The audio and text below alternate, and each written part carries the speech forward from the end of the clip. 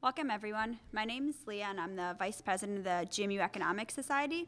Um, on behalf of the Econ Society, I'd like to thank everyone for um, coming out tonight, and it's our last Econ Society event of the semester.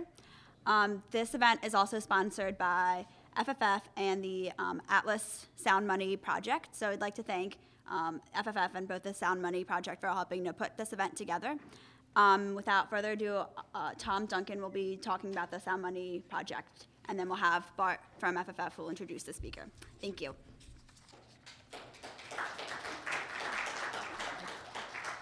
All right, thank you guys. Uh, I'd like to thank the Econ Society and the FFF for uh, letting Atlas get in on this. Uh, Atlas has started a sound money project recently um, where we're looking at the results of inflation due to the, you know, over budget, the huge deficits and all of that that government is currently running. And uh, sort of one of our main speaking points here is the uh, Sound Money Essay Contest. I have put some information up there on the table. Uh, the due date is January 15th. It's got a top prize of $5,000 for those of you who feel like writing something for it. And uh, that's basically it for me. I'm just really happy that you let us be a, be a part of this. So uh, here's Bart from the FFF.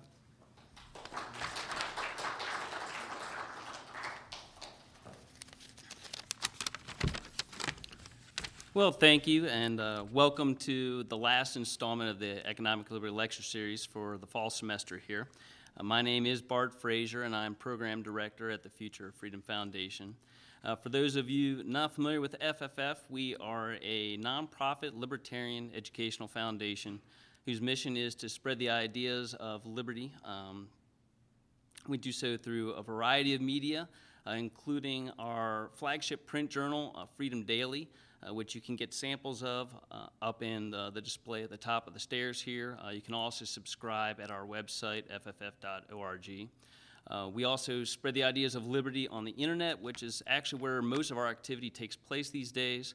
Uh, we have what we consider to be the finest libertarian uh, internet newsletter that you can get. It's free for the asking uh, FFF email update. Uh, again, you can sign up for that uh, at the display or just send an email uh, to fff at fff.org uh, with subscribe uh, in the subject line.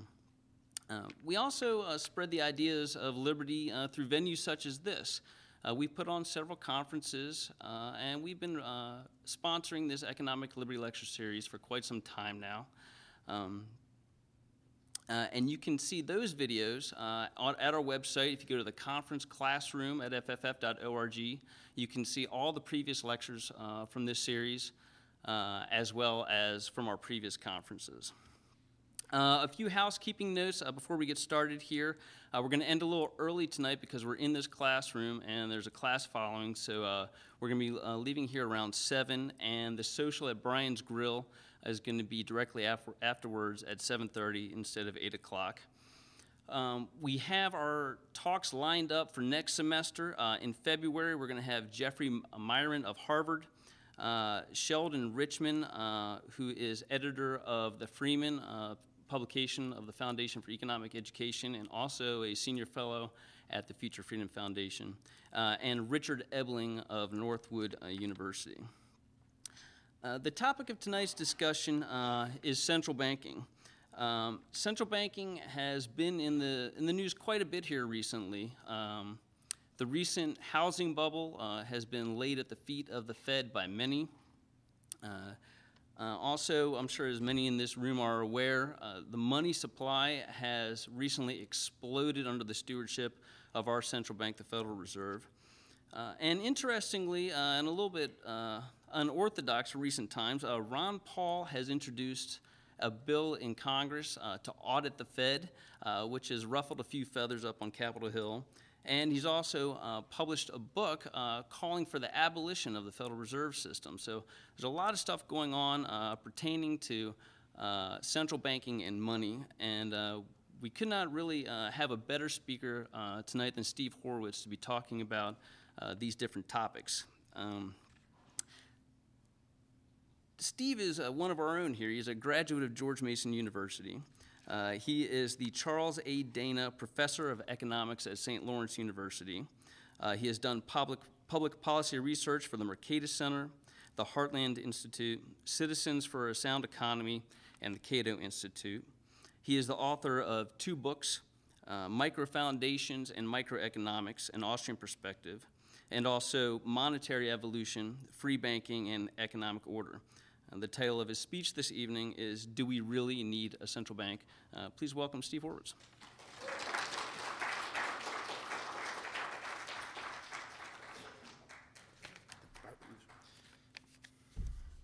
Well, thank you all very much. Uh, thanks to Leah and the undergrad uh, Econ Society. Thanks to the FFF. Thanks to the folks at Atlas. Uh, thanks actually to the Mercatus Center too for helping out. Um, I'm really, really glad to be here.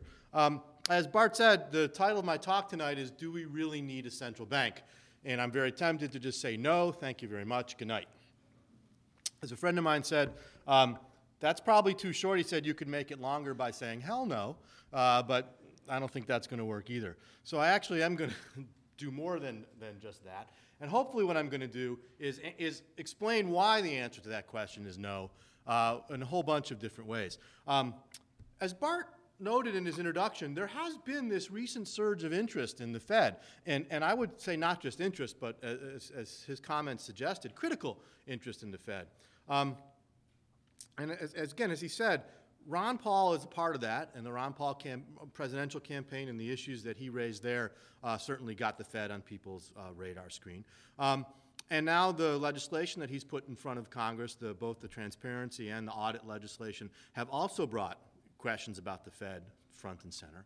The bailouts, the recession, the housing bubble, all those things have again put the Fed at the center of some conversation. And there's even been some media coverage. There's a really good uh, story in the November issue of Reason Magazine on criticism about the Fed. That if you haven't seen that, it's up on their website, I think now too. That you should probably take a look at. That was a, that, and not just because they interviewed me for it. It happens to be a very good story, uh, nonetheless. So that's so that's I think worth looking at too.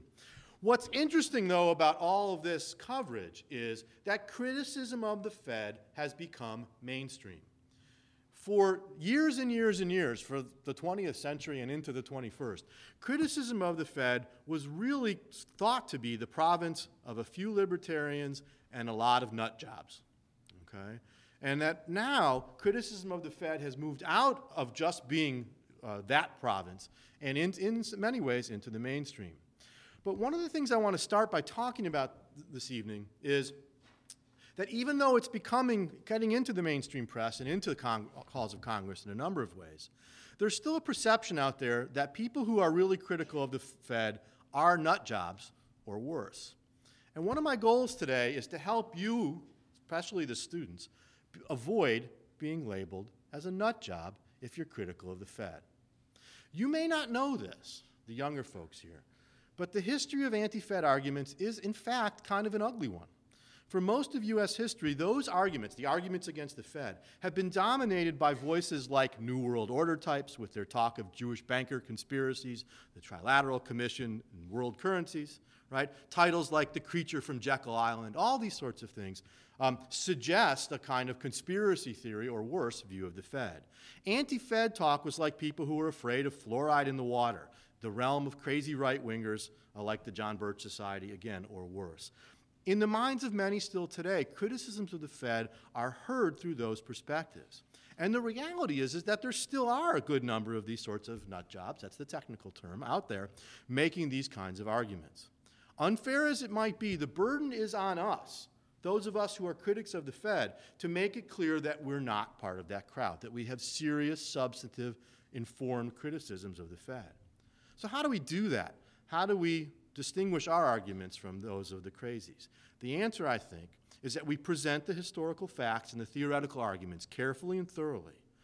And we offer feasible alternatives to central banking. You'll notice, by the way, that the craziest critics of the Fed often don't have an alternative. They're just critics, right? And we do this, we, we make these arguments without assuming that those who created or currently run the Fed are evil, right? They might have been, and might still be driven by self interest, right? But that's fine to say. Self interest isn't the same as evil.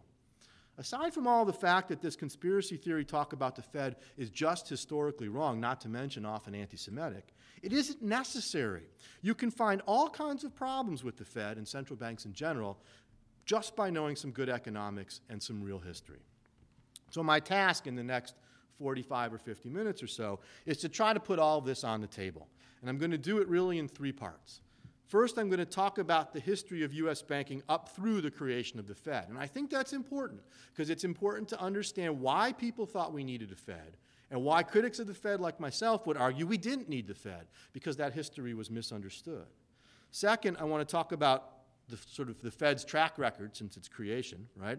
Um, what has it done? How has it screwed up? And we'll talk a little bit about the current recession there, too.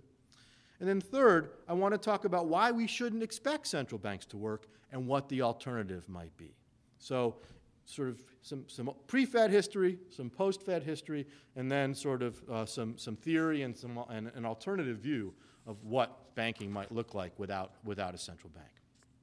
Okay? And I think I can do that in about 45 or 50 minutes.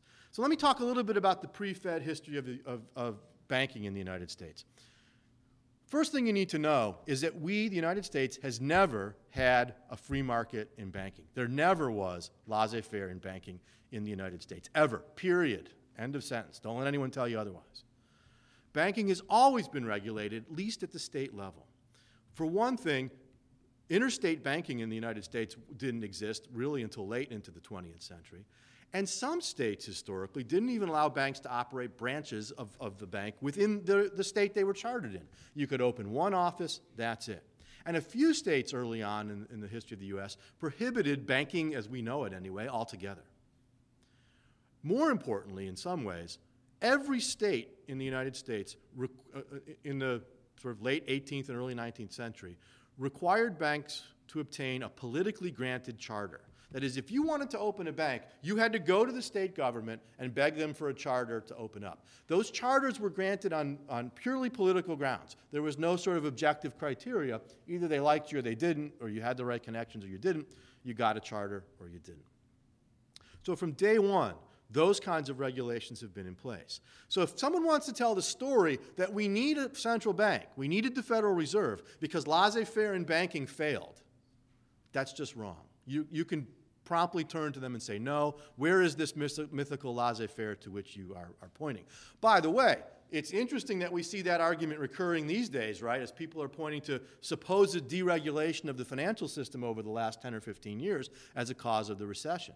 And my response to that is, what deregulation are you talking about? Have you seen what the Federal Register looks like? Right? There's no deregulation there. So same sort of argument keeps cropping up and cropping up. In addition, early on in U.S. history, we had the first and second Bank of the United States. So from 1791 to 1811, we had the first Bank of the United States. It, it was, uh, it, its charter was not renewed originally, and then we had the second Bank of the United States, which was created in 1816. Its charter ran out in 1836. And again, as you hopefully know from, a US, from U.S. history classes, that was all Andrew Jackson and all the debates over the bank in the mid 1830s. Um, those two banks weren't really central banks as we know them today. Um, they were uh, one fifth owned by the government. Uh, they served mostly as a bank for the government. They had very limited monetary powers. They certainly didn't control the money supply in the way that banks today do, although they had, again, some they did create a little bit of money and had some limited powers there. There was, as, as I suggested with the Jacksonian stuff, there was a great deal of debate over these two banks, right? Whether they worked, whether they didn't work, what was good about them, what wasn't good about them. And finally, in that Jackson period in the mid 1830s, uh, the sort of uh, sense of the public was that these were not a good idea. Uh, they were uh, antithetical to populist principles, and so the bank's charter in 1836 was not, the second bank's charter was not renewed. This threw banking in the United States back into the laps of the individual states. And in eight, between 1836 and 1863, th- that period of about 25 years or so is known historically as the free banking era. And I want to say something about that because that term free banking has another meaning that I'm going to talk about later, uh, later this afternoon. By free banking here, okay, what was meant was that a number of states began to say, look, instead of us granting charters based on you knowing the right people politically and through this very shady process, we're simply going to say here are the criteria you have to meet if you want to be a bank. You need a certain level of capital, you need certain things on your board of directors, so, and so on and so forth. If you meet those listed criteria, we'll give you a charter and you can become a bank. And this was the idea of free banking. And really, the better name for it would be free entry into the banking business. And two states pioneered this, by the way, the two states I've lived in for the vast majority of my life uh, Michigan and New York. And those two states uh, uh, began a process that quickly spread to other states, where other states began to get rid of their old political charter systems and began to open up entry into the banking business. This was good, okay? It increased the number of banks, it provided more banking services to the public, it depoliticized the process. All of these things were good. But these banks were, again, not unregulated. Those free banks, the, the free banks during this period were subject to a number of regulations at the state level. And let me mention three, because these three regulations are the ones that play the most crucial role throughout the 19th century, throughout the era before the Fed. Those regulations are, first of all, limits on branching. Again, some states allowed banks to operate branches within the state, some didn't. No state allowed their banks to operate across state lines. The United States has always had, even really up to the mid 20th century, a system of banks that was state by state by state. So that's one set of regulations, and an important set of regulations for a number of reasons. Banks also had, were faced with reserve requirements. The individual states mandated that banks hold a certain percentage of reserves, hold certain items as reserves. They varied from state to state, but banks, again, were forced to hold certain sorts of things uh, as, as reserves. Frequently, by the way, well, let, let me come back to that later. So, so reserve requirements being the second thing. The third and the least known of those regulations were what, what were called collateral requirements for currency. Banks at the time, if you had paper currency at the time, that paper currency was issued by an individual bank. There was no central bank printing up currency. Currency was printed by the individual banks. That currency was usually redeemable in gold or sometimes silver. But the states had additional requirements they put on banks. They said to be doubly, triply safe, that banks had to hold uh, in their assets as part of their portfolio some form of collateral, just in case the bank went under. That way, those notes could be redeemed not just for the gold or silver, but could be cashed in for that collateral. For most states, that collateral consisted of bonds from that state government. So banks are required to buy up state bonds uh, and, and, and, and as to hold as collateral. Now, you can understand why state governments would think this was a really good deal, because they had a captive market for their bonds. They basically require, if you want to do business as a bank, great. You want to give, you, your customers want to use hand to hand paper currency, great. Only way you can do it, buy up our bonds. Pretty good deal, okay? A few states, by the way, included in that requirement not just state government bonds, but sometimes things like railroad bonds, right? So here you go. You're a railroad you want to open up in the state. That's a pretty good deal if you can get it, right? We'll issue bonds to finance my railroad, and then we'll get we'll convince the state to, legislature to require the banks to buy our bonds as collateral. Pretty good deal, okay? In any case, the point here is, is that the issuance of paper currency in this case was not, again, unregulated, that the individual states put these sorts of collateral requirements in place. Throughout that period of the 18, from eight, the 1830s up to 18, mid 1860s, um, this system actually worked fairly well. It had some problems. There were a few currency panics and things like this, but none of them were especially severe. Um, there are some myths about this era that I, I don't have time to go into in, in, in, a great amount of detail, but I'll just mention one. Uh, what, people, what people argued about this era was that the problem were what they called wildcat banks okay? And the idea behind a wildcat bank was, was this. You could, pe what people said about this era was, well, what banks used to do is that they would open an office out in the woods where the wildcats were, right? That's where the wildcat banking comes from. They'd issue a whole bunch of paper currency, bring it into town, and people would spend it, and then by the time they could go find the bank out in the woods to redeem the currency, right, the bank would had closed up shop and was gone. And so one of the stories people tell about why this era was so bad and why we can't have uh, why we need a central bank, why we can't have banks producing their own currency, is we'll get this kind of wildcat banking.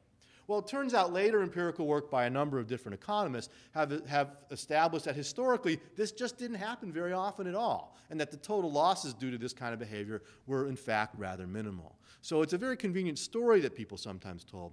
But later investigations in the 1980s and 90s, there were a number of papers on this, demonstrated that, the, that this was not a significant problem. Um, and it's worth noting that this problem was more severe in states that had larger limits on branch banking, because the argument was then there were all these different banks, you could never know. States that allowed banks to operate branches uh, tended to have fewer banks that people knew better. And so when a new bank came in and started issuing all these currency, people go, who's this, right? And the states with, with more extensive branching and larger banks tended to have better developed networks of uh, relationships among banks that, that would enable them to sort of spot an interloper like this very quickly. So this story doesn't seem to hold much, hold much weight, but it is a myth that you sometimes hear. But what was more interesting about this was that this was, again, was a good deal for the state governments because they had this captive market for their bonds. And then comes, along comes the early 1860s. So, what's happening in the early 1860s? Big U.S. historical event Civil War. Good, I hope we're on the same page there. Civil War comes along. You're the federal government.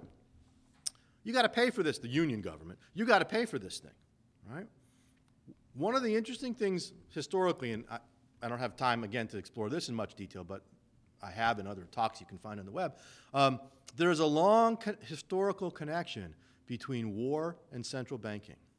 And that the, the, the history of the increased government power over banking is often the history of the need for governments, at least their perceived need by governments, to raise revenue to fight wars. And it's perhaps, I mean, I, one of the things I do when I teach money in banking is when I start this historical material, I put a whole bunch of dates on the board. 1811 through 1816, 1863, 1914, uh, 19, uh, then in parentheses, 1934, and then 1971. And I ask my students, what do all these dates have in common? And usually someone says, aren't they all wars, or times of war? And the 1934, right, is the middle of the Great Depression. That's a metaphorical war. It's not a literal war, but it is a metaphorical war. And that's right, they are all times of war. But there are also times of major increases in the U.S. government, federal government's role in the banking system. That's not a coincidence. And so the story of the Civil War is, is one of the better examples of this. So what happens? The federal government says, well, geez, we need to raise revenue. Look at what those states are doing. Let's get in on the act. And so in the early 1860s, for the first time ever, the federal government decided to start chartering banks. Instead of going to the state, you could go to the federal government. That's why, by the way, banks are First National Bank of Detroit or Second National Bank of St. Louis or something like that, because they were the first national bank chartered in, in Detroit or St. Louis or wherever. So the federal government said, okay, we'll offer charters, all right? And the deal, of course, was that they imposed the same rules on the federally chartered banks as the state banks did, which is reserve requirements, no branching, and now you had to buy federal government bonds if you wanted to issue currency. Why? Well, pretty cool. You could pay for the Civil War that way, right? You had forced these banks to buy up the bonds, they pay for the war. There was only one problem. Nobody wanted one. The bank said, well, what's the gain for us? We've got these state charters, why bother? And that's when Congress got clever. Congress said, well, we can solve that problem easily enough. And they passed a law that put a 10% tax on the note issues of state chartered banks. so the state chartered bank says, oh, that's different. if you're going to force us to pay a 10% tax on our note issues, oh, we'll take one of those federal charters, thank you very much. And so a bunch of banks began to switch over from the state to the federal charters, with the result being they began to buy up these bonds. The federal government has a market for its, for its bonds. Uh, pretty, pretty clever. The problem with this system, well, this system, by the way, from 1863 until 1913, is known as the national banking system, perhaps for obvious reasons, that we had these nationally chartered banks. And many state chartered banks went by the wayside. There were still some that stuck around, they just tended not to issue paper currency. Most of the U.S. paper currency supply during this period was issued by the federally chartered banks. Again, they were subject to the same sorts of regulations um, limits on branching, bond collateral requirements. But also the reserve requirements changed a bit too. And the interesting thing that happened here was that the reserve requirements began to resemble a pyramid. If you were a bank operating, uh, say, out in the country, not in a major city, um, you part of your requirement was to hold a deposit at a bank in one of the major cities like Chicago, Detroit, St. Louis, New York, whatever. Um, The banks that operated in those major cities, with the exception of New York, were required to hold deposits in banks in New York City. Okay? The New York City banks obviously were sort of at the top, or if you want to think of it this way, at the bottom of this pyramid. They were sort of the, the stopgap. They were the last, but- and they had a heavier gold reserve requirement than did the other banks. One of the interesting things about this is that if there was trouble out in the countryside, and the country banks had to start giving, you know, were, were faced with demands for gold from their customers, and they had to start giving out gold, the only way they could get more gold was to go to the banks in the cities. Banks in the cities see their gold go away. The only way they can get more is go to the banks in New York City. New York City had nowhere to turn. Without that gold, either they had to import some, which was expensive, or they had to start shrinking down how much money they were creating, and you could see a kind of ripple effect across the whole economy. And in fact, there were several of these sorts of panics during the national banking system. Uh, 1884 being one of them. The two we know the most about and that were the biggest were in 1893 and 1907. And essentially, what happened, the 1907 one's the easier story to tell in some ways. Um, there was a big increase in the demand for paper money during the autumn harvest time, about now, maybe it was October, it was ear- early, middle October. The banks out in the country, the only way they could meet that demand for currency was to go out and acquire more federal government bonds. Because they couldn't print more currency without having the bonds as collateral. Only problem is, everybody's trying to buy those government bonds. That bids up the price. That makes it more expensive, perhaps not worth doing. Not only that, there was a fairly fixed supply of those bonds, and sometimes they were difficult to find. Not only that, if you could even buy them, then what you had to do was ship them to Washington to the Comptroller of the Currency's office, who then printed your actual currency for you and shipped it back to you. That process could take like six weeks. You got customers lining up. You can't find those bonds. You can't give them paper currency. You can't wait six weeks for this process to work. What do you do? Well, you start giving out gold. You start giving out gold instead of currency. You got to get more gold from the city banks, it's, and we get this kind of ripple effect through the system that caused these panics. 1907, this was compounded by problems with some New York City banks, in particular the trusts, who had all who were behaving uh, not so nicely and had all kinds of uh, fishy connections and things like that, that, that led to people in New York City uh, running on the banks.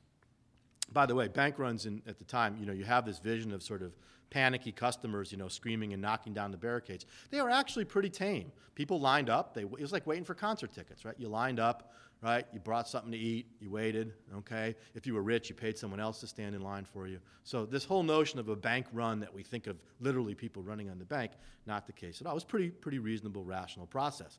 Um, one of the other things that happened during the Panic of 1907 and in 1893 is that banks began to break the law. They basically began to issue paper currency without the required bonds behind them, uh, but they did it in ways that made it not really look like currency. And there were all kinds of other weird currency substitutes. People used subway tokens for money. People used like you know tickets you'd get at the circus for money. Um, they would take cashier's checks, have it made out to someone. You'd sign the back and endorse it. Then you'd give it to someone, and they'd give it to someone else and endorse it. So all these weird money substitutes came into be- being because of these shortages created not by laissez-faire, but by the bad regulations of the system. So, not surprisingly, people began, really after the 1893 panic, to say, we got to do something about this. We got to change this system so that we don't have these problems. There were a number of reform proposals put forward, particularly between 1893 and 1907. Most of those proposals said get rid of the bond collateral requirements and allow banks to branch across state lines. If you do those things, you'll solve the problem. And particularly the Midwestern bankers were the, they were the heroes in this story. They were the ones that said this. The small country bankers did not like branch banking. Why? They were afraid the big city banks and the New York banks would come in, buy them up, and buy up the competition and monopolize everything, which turns out, which wouldn't have happened, but they were understandably perhaps afraid of that. The New York City banks weren't crazy about this either. They, they kind of liked the current system. It gave them some power. They were worried that if that if uh, there was more branching in asset currency, the Midwest bankers might get stronger and threaten them. So all these proposals kept going to Congress and being debated. But what happened was that the people who were opposed to branch banking just outnumbered everybody else. If you think about the U.S. at the time, it was a very agrarian country. And you think about the Senate in particular, where every state has two votes. All of the rural agricultural states with all these sort of small banks were able to keep voting down every proposal that involved liberalizing the branch banking laws. So a number of proposals went forward between 1893 and 1907. They kept getting knocked down. The Panic of 1907 comes along. It's pretty bad. J.P. Morgan has to step in. You know, he's, he's sort of the bailout guy of the, of the early 20th, 20th century. He steps in with a whole bunch of gold, helps save the system. People say this is it. Something's got to change. But they realize these other these old proposals won't work. They can't have the asset currency and branching proposals. And one of the results is that people stop talking about the asset currency, stop talking about getting rid of these bond collateral requirements because they were connected with the branching things. So notice what's happened here. Those proposals, if we'd done that, liberalized the branching laws, got rid of the bond collateral requirements, we would have solved about three quarters of the problems with the national banking system. But it didn't work, not because it was a bad economic proposal, because politically it couldn't carry the day. It didn't line up with the political self interest of the small town bankers and their representatives, eh, particularly in the Senate. So it's not that those proposals were wrong, it's that political self interest blocked them. The result of this was that conversations about a central bank began to come to the forefront. People perceived rightly that the current system was problematic but they didn't always diagnose the problem correctly.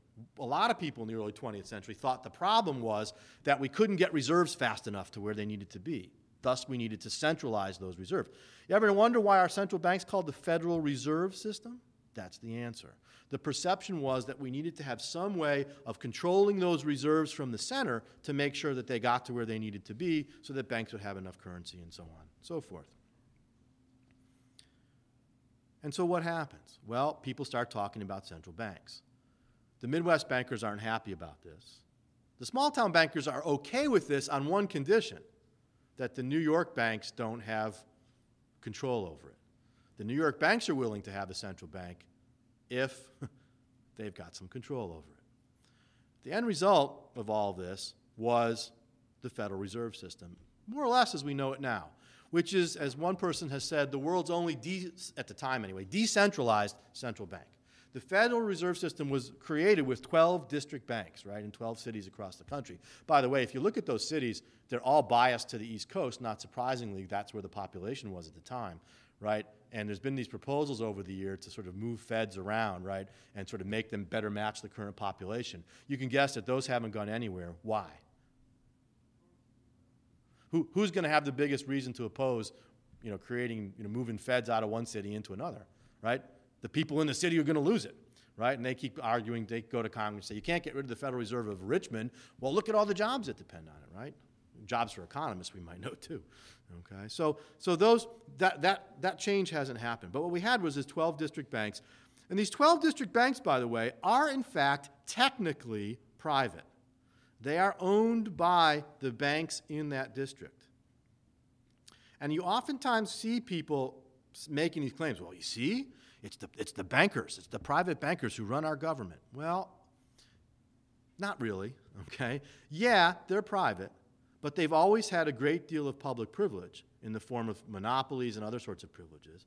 More importantly, as I'll get to in a minute, the power is now, in, in, at the creation of the Fed in 1913, the power was more decentralized than it is today. Now the power sits largely in Washington with the Federal Open Market Committee and the board, okay? But at the time, the district banks did have a lot more power. But the power they had was not just, they weren't just private the same way Walmart is, let's say, okay? They were private with public privileges. So, if anything, it was an early form of corporatism. And in fact, what it really was, to be honest with you, is that this, the Fed was a classic product of the progressive era in the, the belief people had at the time that the only way to solve economic and social problems was to find experts who could solve those problems top down using government, using the bureaucracy. The whole way of thinking about scientific management of social problems that arose in the late 19th and early 20th century, that explains the Fed. You don't need to invoke all this other craziness. Here you had a problem, right? The panics you had a misdiagnosis of that problem, as people's ideological beliefs were, well, at the part of the progressive era was that sort of markets can't self-correct, that markets are, are, are you can't leave things to the marketplace.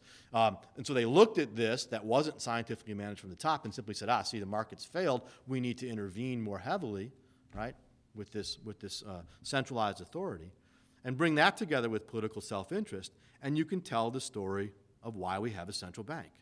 Right? By the way, the irony of this is that the New York Fed did get a particularly prominent role at the creation of the Fed, and still today it has a distinctly prominent role.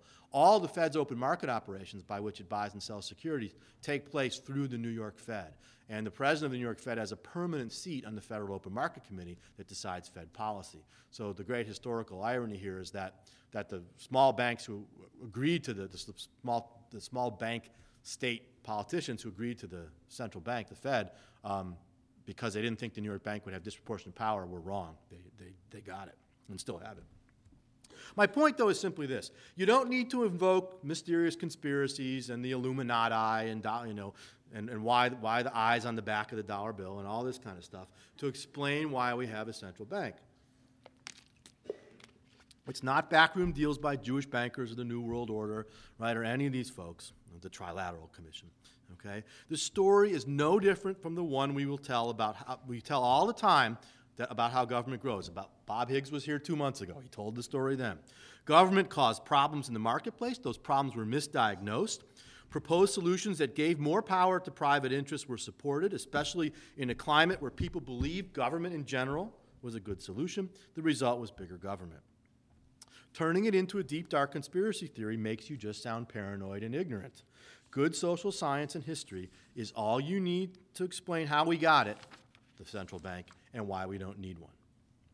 So now the question is, how's the Fed done? Right? We've had it now almost 100 years, right? It's getting awful close to the 100th anniversary of the Fed, which I predict will be a cause for much celebration. Much of it misplaced, as we're going to see in the next few minutes. So how's the Fed done? Well, one of the first things the Fed did was generate some inflation during World War I. Didn't take long.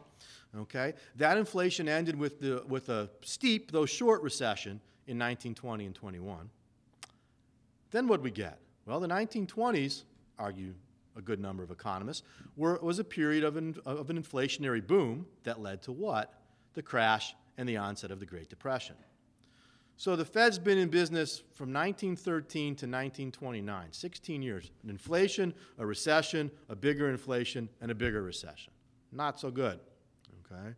Not only that, 1929 rolls along, we have the stock market crash, the beginnings of what would have been a bad recession. But what does the Fed do? From 1930 to 1933, it allows the money supply to decline by 30%. And it turned what would have been, I think, a significant and but necessary correction, a bust, into a very deep and severe Great Depression. Remember, during the Great Depression, about one third of U.S. banks failed. About 8,000 out of 20 some odd thousand banks in the United States failed. Next time someone compares what we're going through right now to the Great Depression, you know how many banks failed this year? Anyone know? Approximately? About 100, yeah, 130, 140, something like that. Not good, by the way. That's not good, okay? But that's not 8,000. That's not even, you know, if you figure 8,000 over a three or four year period, that's 2,000 a year. We're not even in the same ballpark as far as bank failures go. By the way, other while I'm making the point, current unemployment rate 10.2%. Anyone know what the unemployment rate was at the worst of the Great Depression? 25, 26, depends how you count. Anyone know how many years the unemployment rate in the United States was over 10% during the Great Depression? 10 or 11, depending on how you count. Okay, so again, let's be clear, you know, what we're talking about. But the point relevant for this talk is it was the Fed's inflation and then the Fed's being asleep at the switch from 30 to 33 that were major factors in causing the Great Depression. These sorts of things are exactly what the Fed was intended, was created to prevent, and that it failed miserably, faced with its first severe challenge. By the way, how did the Fed respond to this, right? I mean, you know, what you'd like to see happen is that the Fed, you know, the Fed chairman stands up and says, you know what? You guys asked, you created us to, do, to solve a problem. We're incapable of solving it. You should close us down and try something different. When's the last time you heard a bureaucrat say that? what do they usually say? We need more money or we need more power. And that's exactly what the Fed said. Well, if we'd had more power, we could have stopped it. Okay? And so in 1934 and 35, they got it. We decoupled the, the dollar from gold, at least domestically. And in the Banking Act of 1935, gave the reshuffled the power structure of the Fed, putting more power in Washington, less power to the regional banks and created the FOMC and gave the Fed the power to conduct open market operations and, and, and uh, attempt, anyway, to manipulate the money supply in a whole bunch of different ways. So, what's the result of those new powers? What we'll gently call post World War II instability. The average inflation rate since World War II has been higher than ever in, in, the history of the United States, and the costs of inflation are real, right? The costs of inflation hurt you and I and everybody else in a whole different, whole variety of ways. Uh, we can also mention a number of recessions since World War II. If we counted them all, it would be a long, longer list, but the major ones of 73, 74, of the early 80s, and now, of course, the Great Recession. All of these sorts of problems, inflation, recessions, are the kinds of things the Fed was created to prevent, or at least what, in theory, central banks are supposed to be preventing. And by the way, what's been the Fed's response to the current recession? If, if you said to the Fed, you know, you screwed up during the housing bubble, or how are you going to solve this recession? What are they saying? We need more powers. And by the way, this time they haven't even said we need more powers. They've just gone and taken them. Okay?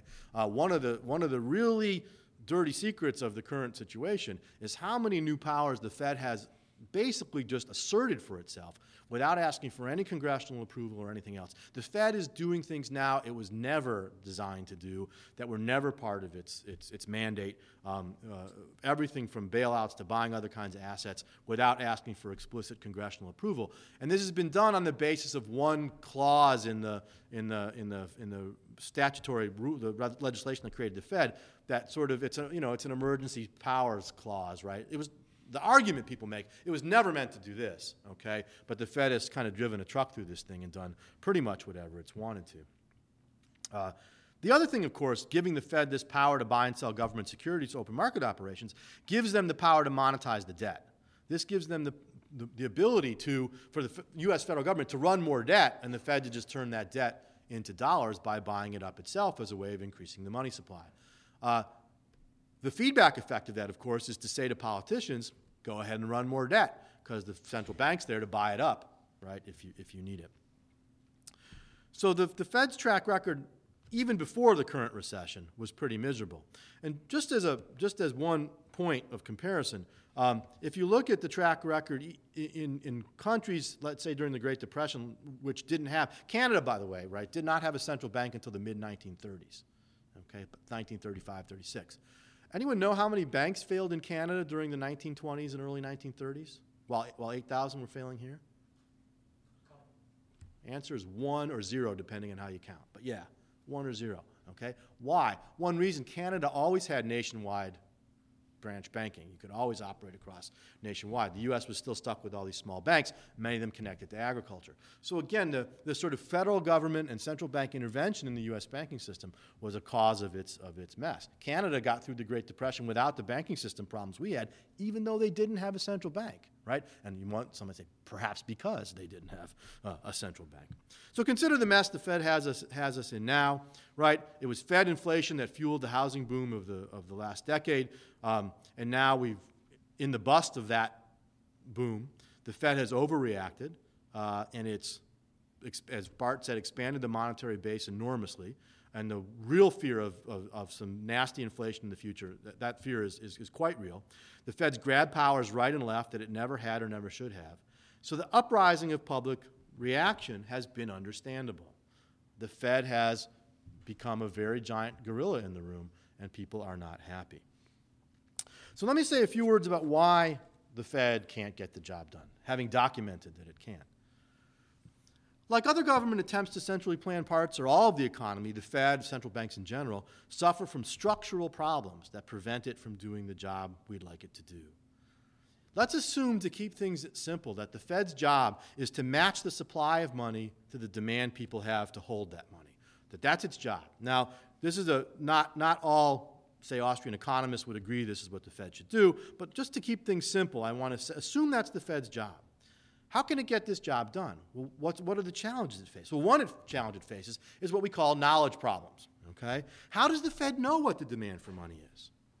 By the time it estimates that demand, has that demand changed? Can the knowledge one need, would need to have to know that demand for money even be centralized? One of the things that Austrian economists talk about a lot is tacit knowledge. That the knowledge that matters for knowing the demand for any good, including money, is often a knowledge of a form that people themselves can't articulate. For example, how many of you can drive a stick shift, you know, a standard shift? All right, good. How many of you ever tried to teach someone else how to drive it? Good. All right. Or can remember being taught. What's the hardest thing to teach or learn about driving a stick? When to release the clutch. How do you know when to release the clutch? When you're supposed to, right? How do you know? Feel. You just know, right? Now, if I said to you, Do you know when to release the clutch? You'd say, Yeah, I know when to release the clutch. If I said to you, Can you explain to me how you know when to release the clutch? You'd go, Ugh right? And then when you're teaching someone, what happens? You say to them, they say, How do I know when to release the clutch? And you say, Well, you'll feel it. Okay, what happens? Well, they release too early, the car goes like this, the transmission falls out, right? No problem. Okay? Or they release it too late and the engine goes ring, right? And you, you go, Oh my God, you're killing my engine. Okay? It's those, it's that kind of knowledge, that, those tacit forms of knowledge that bedevil all attempts at centrally planning, whether it's an entire economy or an industry or the money supply or whatever it might be. And again, we don't need to assume evil here when mere ignorance will suffice. The Fed simply can't track the variables it needs to track. But there's also a second set of problems, right? What we generally would call public choice problems. E- putting aside those knowledge problems, do actors within the Federal Reserve even have the right incentives to get the job done the way we'd like? If they can't figure out what the demand for money is, does that make it more likely they'll, they'll, they'll act more intensely on their self interest? Why does the Fed tend to make mistakes to err in favor of inflation rather than deflation? You'd think if, they were, if there was no self interest involved, they just should be wrong on one side or the other more randomly. But maybe inflation is in the central bank's central, in, central bank's self interest, right? In fact, it is, right? If you, could, if you could run a printing press and spend it, you'd spend it, right? You wouldn't be out there grabbing money out of people's hands, right? You'd be spending it. Okay? And in a way, that's, that's the key. Plus, when the Fed inflates, it, when central banks in general inflate, it reduces the value of government debt, and so they have an incentive as agents of the government to do that. So, between those knowledge problems and those public choice problems, it's very difficult to imagine central banks doing the job we'd like them to do. This is all exacerbated by the economists talk about policy lags, right? We talk about that it takes time. A central bank, even if it's trying to do the right thing, right? It has to recognize there's a problem. It has to get data on what that problem is. It has to decide what to do based on that data. It has to implement that decision, and then that decision takes time to become effective. And by the time central banks react through this political decision making process, the thing that was, might have been the right thing to do when the problem started might be the exact wrong thing to do now. And so what we get, instead of, you know, we have a business cycle like this, instead of the Fed or a central bank making those smaller, they start increasing the amplitude. They start becoming pro-cyclical instead of anti-cyclical. So that's another set of problems that central banks face. The way I sometimes like to analogize this, okay, is that cent- cent- central banking is sort of like the following. Suppose you're in a dark room with no lights whatsoever, and you drop an earring, okay? Central banks, if we say what central banks should do is track the, the, demand for money, asking them to do that is like you trying to find that earring in a dark room, right? Imagine yourself trying to crawl around on the floor and search for that earring, okay? At some point, by the way, what are you going to start doing while you're doing that? Dark room. You're in your living room. Yeah, knocking things over, slamming your head into the furniture, right? At some point, what are you likely to say? To hell with it. Well, all right. I can imagine a few things you'd be saying, bumping your head into the furniture. But at some point, you're like I say, forget it. It's not worth it, right? I'm just not going to bother searching for the earring anymore. I'm just going to stand, I'm just going to give up and stand still. And in a way, That, those two options are a way of thinking about one of the great debates over monetary policy. The first position is what, when economists talk about giving the central bank discretion, is like looking for that earring in the dark room. But what we frequently wind up arguing is if you let the Fed or a central bank try to do that, they'll keep bumping into the furniture. That is, they'll keep making these pro cyclical mistakes. So it might be better to just tie the central bank's hands and say, don't do anything at all. And you can think about that as a, a, fixed monetary growth rule that people like Milton Friedman, at least early in his career, proposed. The problem with the fixed growth rule, what's the problem with standing around not doing anything in the dark room? You don't find the earring, that's right. Okay? What's the obvious solution to this problem? So who said turn on the lights? Turn on the lights, right. We need to turn on the lights. We need some way of being able to figure out where that earring is. And one way of thinking about the alternatives to central banking is that they are the market. What markets do, what competition does, is turn on the lights. Okay? It allows people to see better, to get better knowledge, better information through market prices and other market mechanisms about where, that, where the earring is, where, where, where the demand for money is.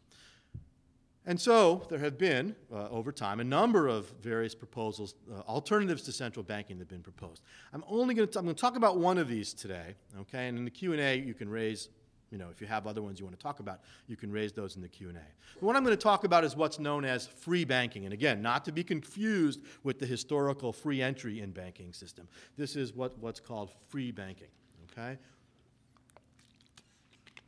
And the argument that people have made for this system, and I, myself included also um, Professor White, who's now a faculty member here in the economics department, who was one of the first people to make this, this kind of argument. Um, imagine a system in which individual banks issue not only deposits, but also paper currency. That instead of a central bank issuing the paper currency, individual banks issue it. Those individual banks make both their deposits and their currency redeemable in some what we call outside money, some other kind of money. It is, would likely be a commodity money and would likely be gold, but it doesn't necessarily have to be, okay? But I'm going to assume for the sake of argument in the next couple minutes that it's gold. These banks would also, by the way, be fractional reserve banks. I'm happy to entertain this discussion in the Q&A afterwards, but let me pause for a minute to talk about this. Um, let me put it bluntly. There's nothing wrong with fractional reserve banking, despite what you might have heard in various criticisms uh, of central banking. Fractional reserve banking under central banking creates problems, not because of the fractional reserve part, because of the central bank part.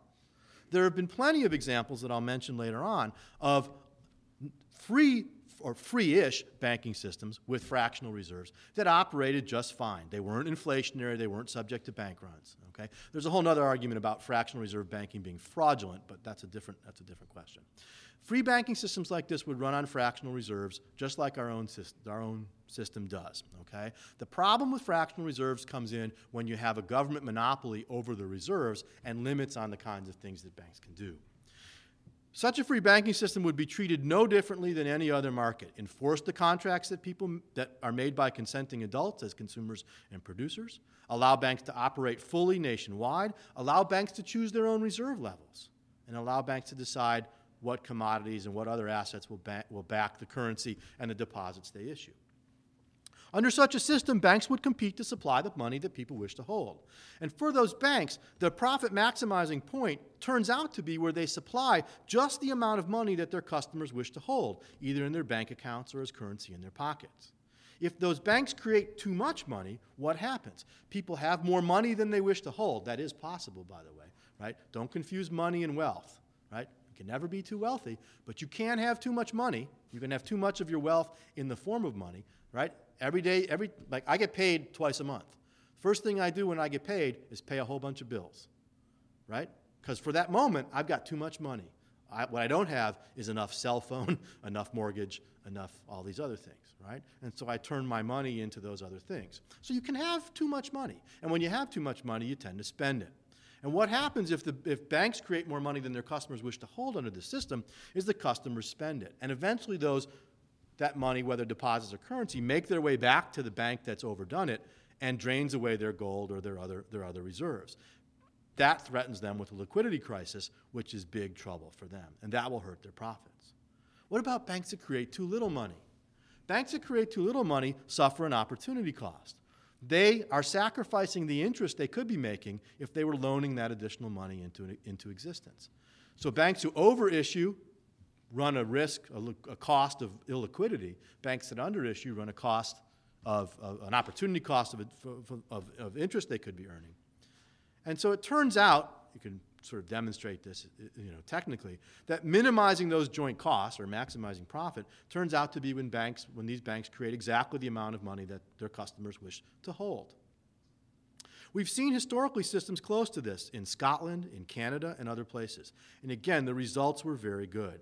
Very few bank failures, general macroeconomic stability. They didn't suffer from inflation and all these, or deflation, or all these other kinds of problems. Even in the United States, uh, you know, I, I po- pointed to some problems with the national banking system, and there were problems with those recurring panics. But that system was actually pretty good at avoiding monetary instability in terms of inflation and deflation. What we saw during most of the end of the 19th century in the United States were gently falling prices, which was good because as the economy was getting more productive, we were producing things more efficiently, prices should, should in fact fall. And that system was in some ways uh, like, uh, like a free banking system. We had competitive production of money, although with those regulations that caused those, those problems. So this kind of system, I would argue, is, a, is an alternative to free banking, or to central banking. And this free banking system, what's interesting about it, I think, as we make the case against central banking, is it's not so strange. It's not bizarre. It simply it's, it has features of banking systems we've had in the past that other countries have had, and it looks a lot like our own. We still have Chase and Citibank and all these, all these banks issuing deposits. They just be issuing currency too. And by the way, the advent of the debit card, right, has meant that currency isn't even all as important as it used to be, uh, unless you're, you know, spending money on something you don't wish other people to know you're spending it on. Uh, you know, that can cover lots of things. Um, but the, the anonymity of currency still has, has power in, in certain markets for illegal substances. All right? But for the most part, I, I hold much less currency than I used to. So even there, we're already moving towards this kind of system by being able to substitute away from currency into our bank accounts, which are in fact privately produced money. Don't forget that. Your checking account is privately produced money. So free banking is not this major exotic sort of thing. So the bottom line of this whole talk, I think, is that the failures of socialism and planning across the globe over the course of the last century are because of the same problems that plague central banks in miniature. Just as that economic planning came about because people had certain ideological beliefs about the problems with markets and the power of central management, because they misunderstood the nature of problems in the market economy, usually caused by existing government problems, and they had their own self interest at stake. All of those came together to lead people to believe that central planning was a good thing. These are the same sorts of things that led people to think central banking was a good thing. We know now that markets are the solution, that markets work better than central planning in general. Same thing is true for banking. Critics might point to the current recession as evidence against the power of markets, but the reality is the current recession is one of the best cases ever against central banking. The Fed caused these problems from the start, and they're only making matters worse right now. So, to return to my opening theme, we don't need craziness and nut jobbery when history and theory make the case against central banking all by themselves. The history of the Fed is no different in its essentials than that of many other government interventions, especially the ones that came out of the progressive era. Since its creation, it hasn't done the job very well, and there are alternatives out there that can do the job better, both in theory and in practice. We know from history that systems like free banking can work. So the answer to the question is no, we really don't need a central bank. We never have. But bad economic history, bad economic theory, and self interest conspired to give us one. And it's time to get good monetary history and good economic theory back into this conversation and try to override, if we possibly can, the self interest of both bankers and politicians and restore some sanity to the U.S. monetary system. The Fed never should have been created, and its track record is one of consistent failure. Now's the time for a really radical reform, getting rid of the Fed, getting rid of central banks, and letting the market produce money. Thank you very much.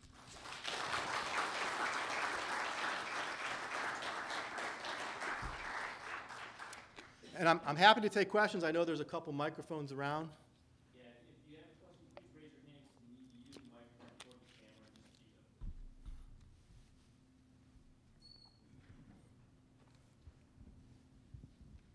Uh, Dr. Horwitz, do you think that the Fed's dual mandate causes a lot of problems and that maybe one of the first things to do, even if you're against the central bank completely, is to get it out of dealing with employment or with the, the economy in general and just keeping it uh, relegating to, to prices? Yeah, the dual mandate that he's referring to is the idea that the Fed is responsible both for keeping inflation in check and for producing full employment. And I, I mean, I think that's a that would be a helpful step. I think would be to say to the Fed, stop worrying about full employment, just worry about monetary stability. The problem, of course, is it still faces all the problems we've talked about, which is uh, that, that inflation is still in its self-interest, even outside of the full employment context, just from a you know monetizing the debt debt reduction context, uh, and it still faces the knowledge problems in terms of getting that job done. So would it, I mean it, it certainly wouldn't hurt I think to get to get the full employment piece out of that puzzle. By the way, that's only since 1945, right? Before 1945, the Fed's mandate, if it even really had a mandate, essentially was was you know keep don't don't let us have panics, which it basically allowed to happen. You know, happen anyway. So yeah, I mean that that couldn't hurt. It would help a little bit, um, but I don't think it really gets to the core, the core of the problems. Uh, Dr. Horowitz. Uh, a lot of people think that the most recent financial crisis is caused by over-the-counter derivatives, uh, speculation, a lot of these unregulated areas of banking. And personally, I just don't see how we can prevent these things without some kind of regulator, whether it be a federal bank, uh, central bank, or some other agency. Because it seems to me that the banks that went bust and had the biggest kind of uh, negative externality were those that were the least regulated. Could you care to comment on that? Yeah, uh, let me say I, I could do another half hour on that, but I won't. Um, but let me actually let me do the shortcut, which is uh, as actually within the last couple days, the Foundation for Economic Education uh, has released uh, uh, a short pamphlet uh, that uh, myself and Pete Boettke, who's here today as well, wrote for them. Uh, it's called "The House That Uncle Sam Built." Not our title, but that's okay. Uh, the House That Uncle Sam Built, which is uh, a, a, an attempt to explain the causes of the Great Recession of 2008, uh, jargon-free, layman's terms. Uh, I, I, don't know if it's here or not, but uh, the, the Foundation for Economic Education has one of these on the Great Depression written by their current president, Larry Reed. So that's a good, it's online if you, the house that Uncle Sam built, or go, I think the front page of the FEE website, at least earlier today, had a link to it right there. You'll find it. Um, that will do more than I can do in a couple minutes to respond to that question. Uh, so just a couple things. Um, it's, it, it's true uh, that some of these fancy derivative type instruments were less regulated than other kinds of financial instruments at the time, often because they were simply new and folks didn't, didn't know what to do with them. Um, nonetheless, it's not true that they were completely unregulated. Uh, there were all kinds of regulations still in place, though arguably less so than in other, other, other cases. But what I'd want to do is back up the story a bit and ask ourselves where, how we got all that fancy stuff in the first place. And the reason we had all those fancy mortgage-backed securities and then the derivatives based on the mortgage-backed securities has to do a ton with both the Fed having fueled the, the, the expansion of the money supply uh, and then fuel, provided the fuel for uh, the increase in lending to the housing market and the rise of housing prices, um, as well as a whole bunch of other government interventions in the housing market that, uh, may, that produced the whole secondary mortgage market. We wouldn't have that huge secondary mortgage market if Fannie and Freddie didn't exist, government sponsored enterprises. And we certainly wouldn't have it if they didn't have the implicit government guarantee that they had that they would never be allowed to fail. So Fannie and Freddie were buying up all these mortgages, and the banks are saying, well, look, no one will let them fail. Let's get it off our books, let them buy it up. And once they bought it up and turned it into these various instruments, then the game's on. So it's, it's true, you're right, that those, were, those instruments were less regulated, but it's not clear that all those instruments would have even existed but for, as the lawyers would say, uh, these, other kinds of, these other kinds of interventions. So saying, to say, well, the recession is, is the fault of the, the lighter regulation of those instruments and that we need uh, a central bank of some sort as a, as, a, as a way to solve the problem, I think misses the fact that the central bank was at the core of the reason we had those in the first place right? Number one. And it was other regulations that contributed to it as well. Um, I'm also not sure at all that it was the banks who were the, the banks that failed were ones not just dealing with the fancy instruments per se, or, or the less regulated instruments, though there were certainly some of those, because some of those banks failed, some got bailed out, some, you know, some were wise, wise enough to stay away. Um, I, there were banks that failed for a whole bunch of reasons, often because they held those instruments, not so much because they created them or originated them or, or, or, or anything like that. They simply bought them as investments. The other point I'd make is that why would people rate these things AAA, right? That's a really good question. Why were all these really crappy instruments rated AAA? And one reason is, is that the ratings agency were a government-sponsored cartel. The federal government, the SEC specifically, had, had made it the case that only three ratings agencies could have could had the official power to rate these kinds of securities.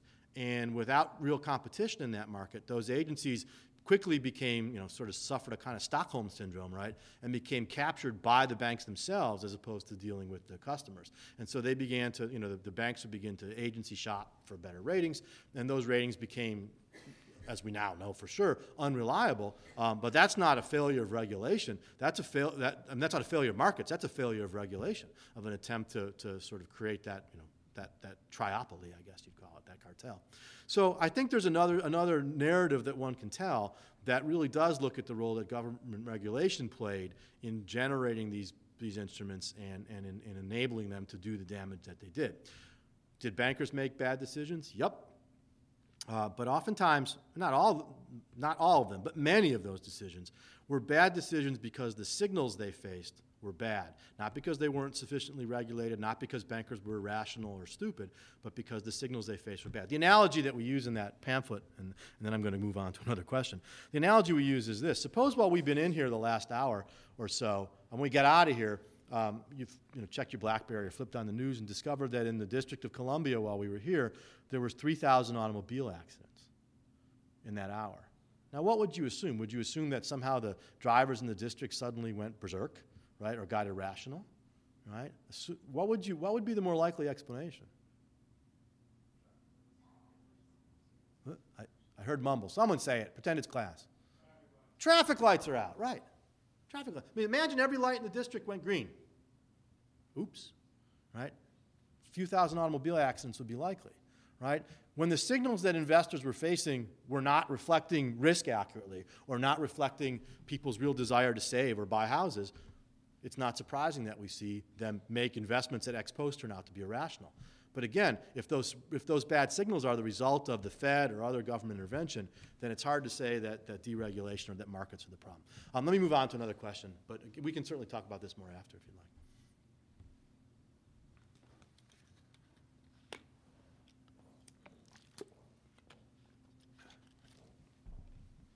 Thank you. Um, I'm glad you're speaking about this. I had a couple of questions, actually. Um, first, I'd like to congratulate you on maintaining sort of an academic tone, despite the fact that you were stereotyping a whole bunch of people and calling them all racist with the whole Jewish New World Order conspiracy. That's, that's not very nice. I mean, when people like uh, Henry Kissinger talk about a New World Order, he's not Jewish. It, it, it's, it's not something I want to see happen, obviously, but I don't, I don't blame a race of people for, for using that kind of uh, rhetoric from a couple of powerful uh, individuals. First off, I'd like to say, uh, why is it um, hard to believe that bankers uh, don't know that war is actually good for their business? I think that's one of the things. They know that it's good for their business. Yeah, they do. I agree. you know, and and having a war really does help them out a lot. Yeah. So it might be in their vested interest to maybe help foment or push towards war in a lot of situations. I, I, I think that is certainly quite possible, right? Um, that, that both, both central bankers and other bankers, right, have, may have an interest in, I mean, look, Horwitz's first law of political economy, no one hates capitalism more than the capitalists, right? So, so it's not surprising at all that we'd see bankers think that expansion of government in all kinds of forms, including the military, was, was within their, was, a thing, was something that, that would be in their self-interest. Well, that, that's absolutely true. And I'd like to also say, isn't the uh, American racial hygiene movement or eugenics also the result of this whole progressivist Yep. mentality as well?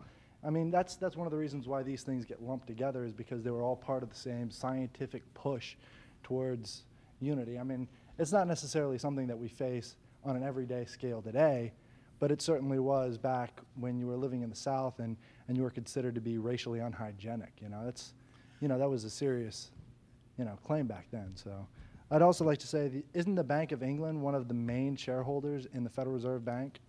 And um, No. you don't think No. so? No, it's just, that's just, that's false. The, the, the, the, look, the 12 district banks are owned, the shares in those banks are owned by the member banks in those districts. There are no shares in the Federal Reserve. There's no overarching thing that has shares in it. All the national, all the federal level, we, what we have is the Federal Reserve Board and the FOMC. The Federal Reserve Board of Governors, right? Right, but that's, that's not, a, that, there's no shares in that. Those are, those, that's, that's uh, people in an office. Lots Okay. of people, lots of offices, but Well, I could get into a whole other, other thing on that, but anyways, I was just going to say you should also include the Napoleonic era, um, using the Rothschild example as one of the reasons why we should avoid central banking, because what uh, Nathan de Rothschild did back then in relation to the Napoleonic Wars really did have an eventual result on central banking worldwide. Uh, There's, look, there, there's, there's no doubt at all that there's this historical connection between bankers, war, and central banking. And in fact, for me, one of the most powerful arguments against central banks is that they're instruments of war. And, and always have been, going that far back and, and farther back. But, but those, that relationship crosses national, uh, ethnic, racial boundaries. It's just a universal phenomenon. And when we talk, when people start to talk about these issues in those kind of terms, they're just, it, there's no historical evidence to support it. it the problems are not, the, the problems are universal problems of political economy. And, and I think that's, that's the, that was my, my point, okay? And my, my point, at, by my starting point was not to uh, stereotype every single uh, you know, opponent of central banking as being quote unquote a nut job. Um, the reality is, many of them are, or were at least historically, and their arguments were wrong. They were, they, they were right in opposing the central bank, but they were opposed it for reasons that were both historically incorrect and damaging to the cause. Okay? If you really think central banks are a problem, you got to get the arguments right. Otherwise, you're not going to be effective. And that's, that's the point I was trying to make. Other questions? Dr. Horwitz, what's the future for central banking for this country? Do you think Ron Paul's vision of ending the Fed is going to come to fruition? Yeah, what's the future of central of, of well, there's two questions. What's the future of central banking and then what's the future of the anti-central banking movement? Right? I think those are two two interesting both interesting questions. Um, I, let me put it this way.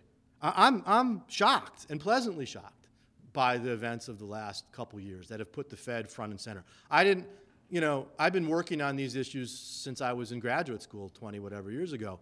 And and there's never been anything like this, where people are actually talking about the central bank in the kinds of ways they're talking about it. Um, and, and I think that that's, uh, I think that's great. I don't see that going away uh, in the near future. Whether it can be effective, however, is another question. Um, you can already see people circling the wagons. If you saw uh, Bernanke's op-ed in the Wall Street Journal, whatever it was, a couple days ago, right? Already, you know, sort of attacking attacking his attackers, right, in all kinds of ways. Um, from what I know of the Ron Paul the legislation, right, he now has a majority of votes. I think to, to if he can or close to it. So that might actually come to the floor at some point. And I think the audit and the transparency stuff, we, we may well see that happen. Uh, and boy, that'll be one political brouhaha, the technical term for it, uh, when the, if, if that happens. Because I think, I think we'll find out all kinds of nasty stuff that wouldn't be surprising to critics of the Fed, but might be surprising to others in terms of the kind of things they've done and the kind of assets they've bought and so on. And, and I do think that the, the shrouding of the process of, of what the Fed does, the fact that it's so shrouded in mystery and expertise, you know, and all these sorts of things, um, I think now is being seen, now is going to damage its credibility. I hadn't thought about this till just this moment, but it's an interesting parallel with what the, the, the, the climate gate emails, right, that we've seen come out. We're seeing the same problem there too, a lack of transparency, a lack of, a lack of, of, of clarity from so-called experts. And so I, I, I think it is certainly possible that what we'll see happen is, is that, that that's a, it might be a tipping point, right? If that really happens, can, can, can, can, the, can the you know, criticism of the Fed catch on? Good question. But boy, we better be ready with some alternative, right? Uh, otherwise, it could get worse. So that's one. As far as the anti central banking movement goes or anti-Fed movement. I, I mean, I think like the Fed rallies on the 22nd, I- anti-Fed rallies. I, that stuff's great, okay? Um, and and I'm, I'm a cautious supporter of the Tea Party movement too, cautious, but a, but a supporter. And I think what has to happen is that those movements, all those things that are happening, need to hone in on the central issues.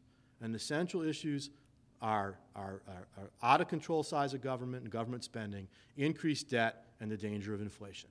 And if you can focus in on those three, that's because that's where you're going to get agreement among free market types, right? If you drag the social issues in, you're going to cleave off the libertarians and all these sort of things, right?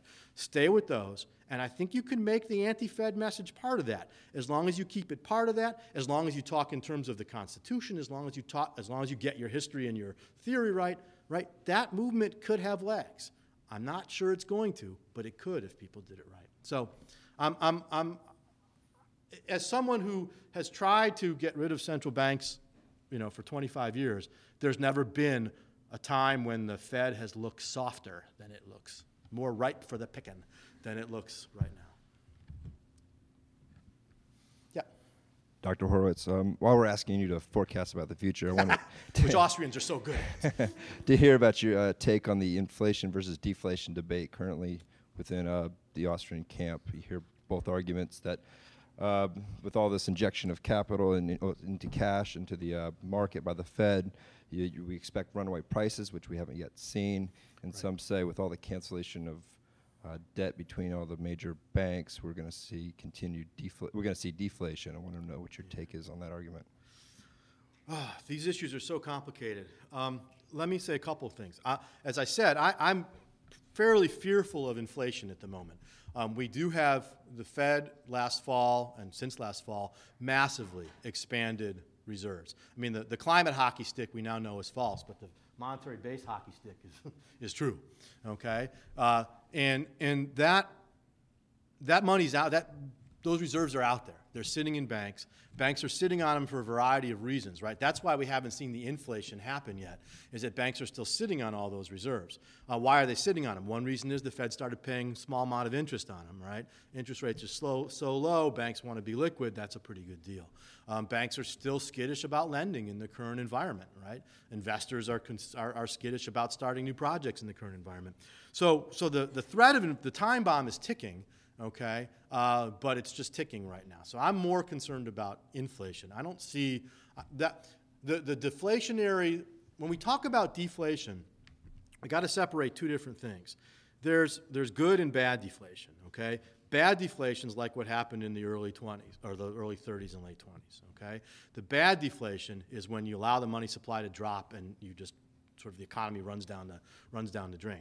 Good deflation is when prices fall because goods are becoming less scarce or because demand is shifting away from those goods into other goods. Look, it, it, it, it's, it's so funny, by the way, to see the news, right? The, the, the, I keep saying that the bad news is the good news. Every time I see someone on the news say housing prices fell again last month, I go, yay, right? They should be falling. They were ridiculously high, right? Or housing starts are down, yay, right? Because we shouldn't be starting more houses, we should be doing other things. So when we're talking about deflation in certain asset prices, right, that's good. When we're talking about deflation because we're getting more productive, I can buy an LCD TV for a lot cheaper than I could two years ago, that, those things are good. So we are seeing some of that kind of deflation at the same time that bomb is ticking out there with all those reserves. What I, um, I'm going to plug two of my own pieces. I've got a piece coming out in the next issue of, of the Freeman magazine on this deflation issue. It's called, I think the title is something like uh,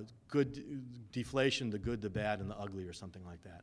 Um, and then my, I have a column that'll come out on Thursday, which is on the next thing I'm going to talk about, which is the, the problem the Fed faces right now, which is how does it have an exit strategy for getting all these excess reserves out? It, I don't think it does, and I'm not sure how it can. So I, I'm, I am significantly worried about inflation in the near future. Let me get to some folks I haven't heard from yet, and a couple in, in back in back there.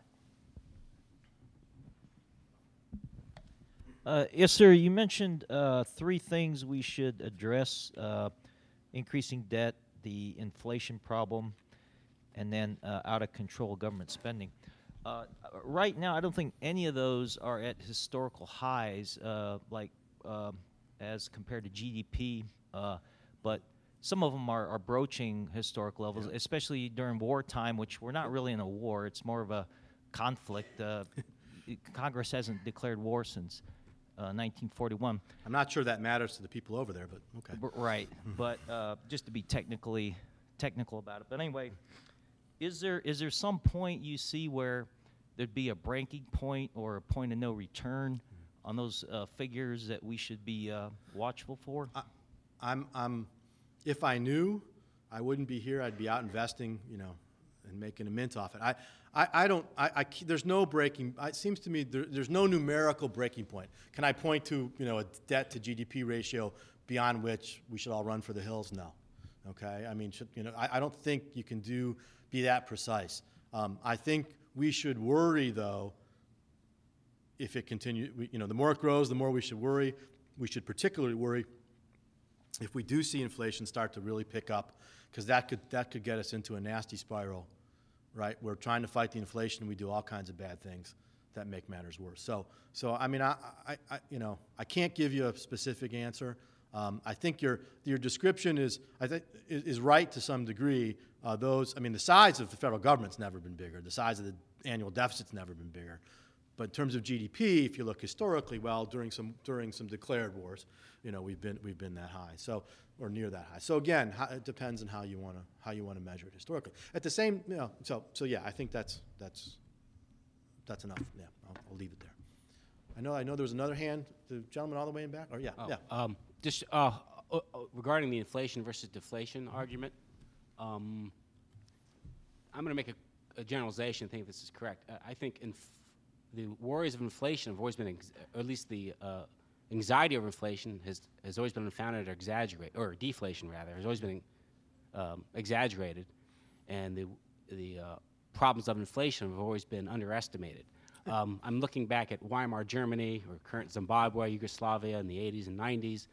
Inflation is far more destructive economically, politically, and culturally and morally than deflation. And has there ever been an, a, an era where deflation has caused any serious damage? I'm not aware, aware of any. Well, the Great Depression is the obvious example to that, right? I mean, you, you know, it, it, it's, a, we're playing some counterfactual history, but the interesting question is what would the Great Depression, what, what would that period have looked like had the Fed not screwed up and allowed the money supply to fall by 30%? I mean, I, you know, uh, one, one plausible story is we would have had uh, a, a severe but fairly short recession, but not, you know, a, dec- a lost decade, okay? And certainly that there changes that happened during the Great Depression. uh, You can't attribute all the Great Depression to deflation, but it's a significant piece of why it was as bad as it was. And certainly that led to changes that had long-run implications. I think many of them problematic. But that's about the best example we really have. I think the way you put it is exactly right. That people have feared tend to fear deflation too much, especially since they confuse the good and bad deflation, okay? And under, don't fear inflation enough in the sense that the damage done by inflation is, is much greater. I mean, inflation, uh, even with a deflation, at some point, market correction mechanisms kick in. It can often be after a long, painful decline. With inflation, there's the, the sky's the limit. Look at Zimbabwe, right? Um, you know, you, you or the examples you mentioned, um, and those really do. Those those destroy the currency. They destroy the money. They de- by destroying money, they destroy markets. By destroying markets, they destroy our ability to trade with each other peacefully, right? I mean, we we revert, you know, to to to, to less civilized behaviors. And so I think that, that, that, that is a genuine fear. I mean, I think we should be more afraid of inflation than deflation in general, particularly because central bank, every, every country's got a central bank, and central banks will do anything in their power to avoid deflation, mainly because it hurts the very government to which they serve. So I think that's absolutely right. And back. Uh, yes, Dr. Horwitz. Um, my question is actually nothing to do with the inflation or deflation, but how do we, how would you, I guess, suggest getting the narrative out there hmm. concerning free markets, free banking, the dangers that the that a central banking poses to a governments and society, Yeah.